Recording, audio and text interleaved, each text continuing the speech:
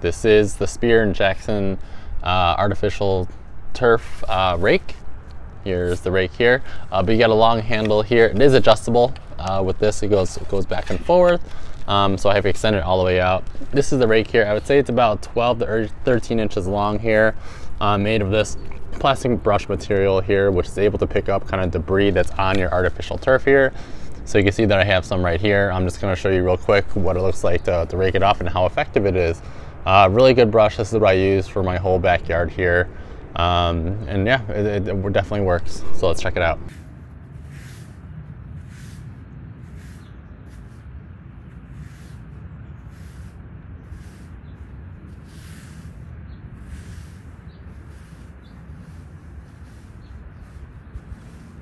As you can see here, here's some of the debris that I quickly uh, just kind of gathered up in this small amount of space here with this with the the broom. Um, yeah, really effective artificial turf rake.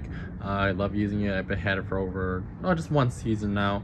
Um, and it's able to pick up all these little small twigs and branches. So have fun.